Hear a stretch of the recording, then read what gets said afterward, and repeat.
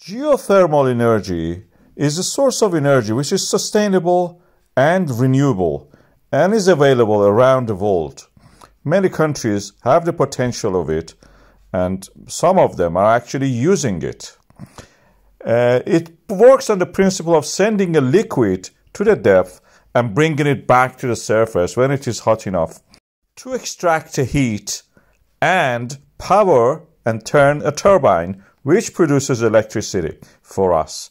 In Iceland, we have a lot of systems like that.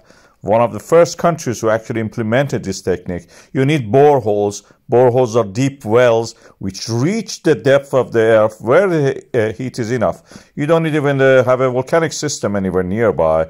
The depth increases the heat. In Svartsengi, we have both the depth and the a, magma source at a depth, which provides us with the energy.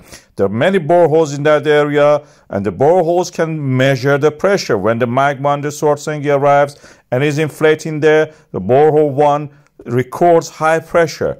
But the borehole 2 may not record it in other locations where the narrow part you can see to the center and the right.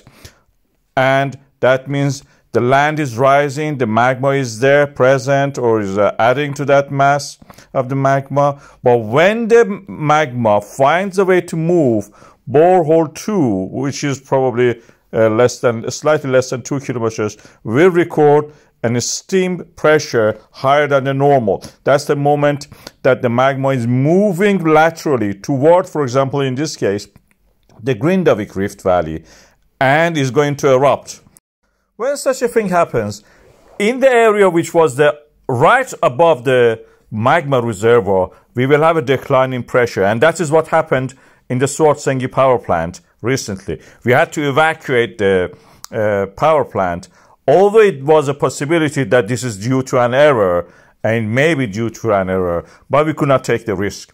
The Blue Lagoon, which is nearby, didn't evacuate because the Icelandic authorities in the Icelandic Meteorological Office, they didn't agree with that. But we had a similar situation in the past. In January 24, we had a rise in the pressure of, one of the boreholes, and then we had a rise in the seismic activity. We had earthquakes, then eruption.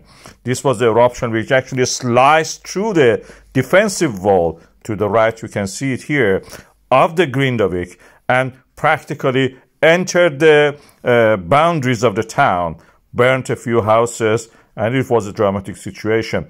It may happen again. So we cannot take a risk.